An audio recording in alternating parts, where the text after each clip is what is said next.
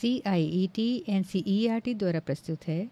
कक्षा तीन की पाठ्यपुस्तक, हमारे आसपास का पहला पाठ। डाल डाल पर, ताल ताल पर। माँ, आज मुझे स्कूल भेज दो ना। दो दिन से घर में बैठे बैठे बोर हो गई हूँ। पूनम बोली, माँ ने जवाब दिया, तुम्हें अभी बुखार है। बाहर जाकर चारपाई पर लेट जाओ।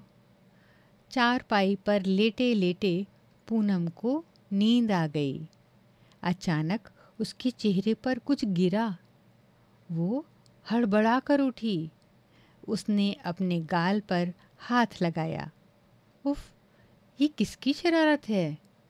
कबूतर की या कौए की? हम्म कौए की ही लगती है। यहाँ एक पेड़ का चित्र है।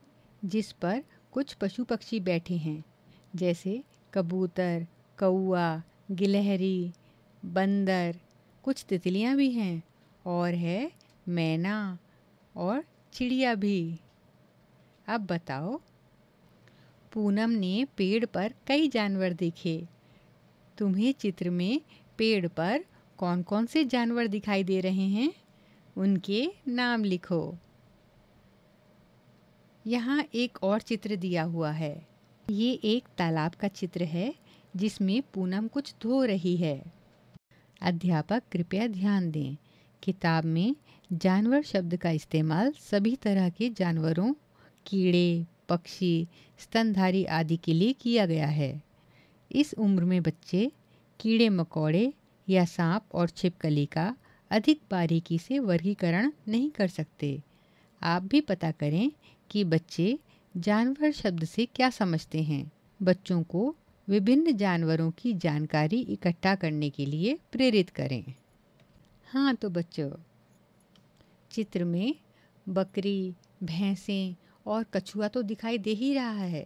साथ में हैं दो मेंढक और कुछ पक्षी भी, जैसे हंस और कौआ अब बताओ पूनम ने पेड़ पर कई जानवर देखे। तुम्हें चित्र में पेड़ पर कौन कौन से जानवर दिखाई दे रहे हैं? उनके नाम लिखो। तालाब पर दिखे जानवरों का अभिनय करके दिखाओ। कौन सा जानवर क्या हरकत करता होगा? जानवरों की अलग अलग आवाज़ें भी निकालो। जानवरों के चलने का ढंग अलग अलग होता है। कुछ चलते हैं तो कुछ रेंगते हैं, कुछ उड़ते हैं तो कुछ तैरते हैं।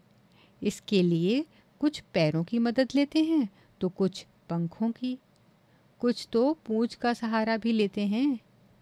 तुमने भी बहुत सारे जानवर देखे होंगे। उनमें से कौन कौन से जानवर उड़ते हैं? कौन कौन से जानवर रेंगते हैं? कौन कौन से जानवर चलते हैं? और ये भी बताओ कि कौन कौन से जानवर फुदकते हैं? कौन कौन से जानवर पंख वाले हैं? कौन से पैर वाले हैं और कौन से जानवर पूंछ वाले हैं? जानवर अलग अलग जगह रहते हैं। कुछ पेड़ पर रहते हैं तो कुछ पानी में, कुछ ज़मीन पर रहते हैं तो कुछ उसके नीचे। कुछ तो हमारे घरों में भी रहते हैं। यहाँ कुछ जानवरों के चित्र दिए गए हैं, जैसे घोड़ा, कुत्ता, मुर्गा, मकौड़ा, चील, बिल्ली, मेंढक, छिपकली, गिलहरी, टिड्डा, हाथी, मछली और बतख। इन चित्रों को देखो। इनमें से जो जानवर तुम्हारे घर में नहीं रहते उनमें रंग भरो। यहाँ कुछ जानवरों के अधूरे चित्र हैं। उन्हें पूरा करो और उनके नीचे उनके नाम लिखो। और अब पहेली, बताओ मैं कौन हूँ? छत पर बैठकर केला खाऊं, इधर उधर मैं कूद लगाऊँ।